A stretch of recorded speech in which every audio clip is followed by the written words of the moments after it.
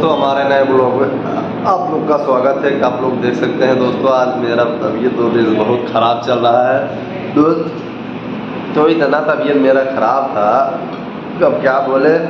दो दिन से थे हॉस्पिटल में थे। आज दोस्तों हॉस्पिटल से बाहर निकल के आए हैं। देखिए दोस्तों, यहाँ पर बिस्तर लगा है।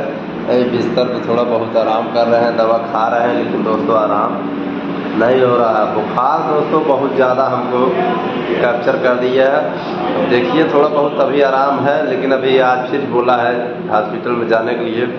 चलिए, देखते हैं, मिलते हैं। देखते हैं, दवा ववा भी देगा, क्या करेगा, अभी फिर रिपोर्ट निकालेगा।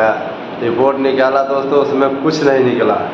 लेकिन बोल रहा था आईसीयू में भर्ती करने के लिए तो हम बोला, मेरा सांस खुल रहा है जो आईसीयू में भर्ती करोगे?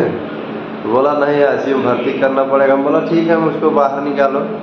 हम बाहर निकल के चलेंगे, वहाँ पर खैर रहेंगे, आराम करेंगे। ज़िंदा रहना रहेगा तो ज़िंदा रहेंगे। मरना होगा तो भी मरेंगे, कोई दिक्कत नहीं है। लेकिन हम आई में भर्ती होने नहीं जाएँगे। तो दोस्तों हॉस्पिटल जो होता है ना, वहाँ पर अगर आप सही भी रहोगे, तब भी वो लोग आपको ज़िंदा मार डालेंगे। हॉस्पिटल साला ऐसा चीज़ ही है दोस्तों, अभी तक तो हम हॉस्पिटल में कभी गए नहीं थे। अभी तो दो दिन पहले हम हॉस्पिटल में, जब कल हॉस्पिटल हम गए ना सही जान लीजिए हॉस्पिटल में का बोले, साला ऐसे ऐसे आदमी बताइए। अगर जो ज़िंदा रहना रहेगा, उसको भी साले लोग मार डालेंगे हॉस्पिटल में ले जाने के बाद। तो इसलिए दोस्तों हॉस्पिटल में अगर जाओ तो अपना दिमाग से काम करो।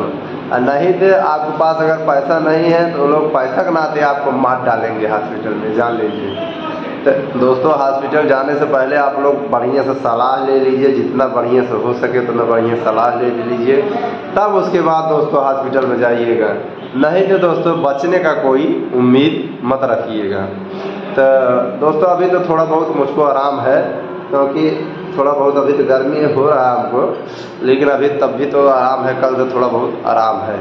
बोतल वोतल चढ़ा है बुखार जो था उसका बोतल लगाया है क्या कैसे क्या एंटीबायोटिक तो दोस्तों, अभी आराम है थोड़ा बहुत। तो चलिए दोस्तों, मिलते हैं नेक्स्ट ब्लॉग में, तब तक के लिए बाय बाय